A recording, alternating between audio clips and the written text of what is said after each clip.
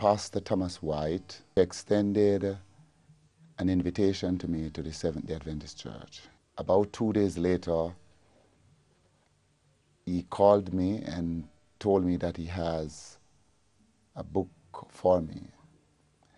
When I received this book, it was the 28 Fundamental Doctrine of the Seventh day Adventist Church.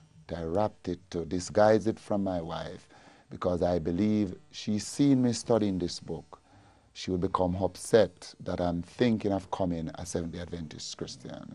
While reading this book, my belief becomes stronger and stronger till I decided to visit church.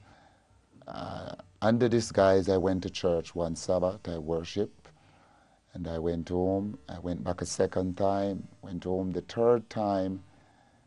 She happened to see inside of the book, and she said, Oh, this is what you are studying. So you are thinking of becoming a Seventh day Adventist? And I answer, yes. With a timidness that she would oppose.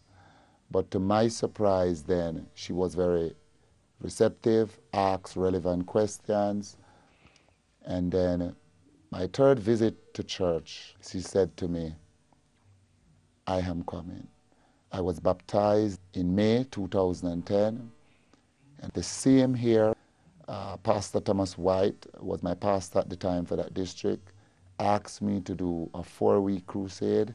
And the first group to surrender their life to God, a group of eight, one of the person in that group was my wife. At the conclusion of the crusade, 34 souls was added to the kingdom of God and a company was formed and the church started in Boston, Portland.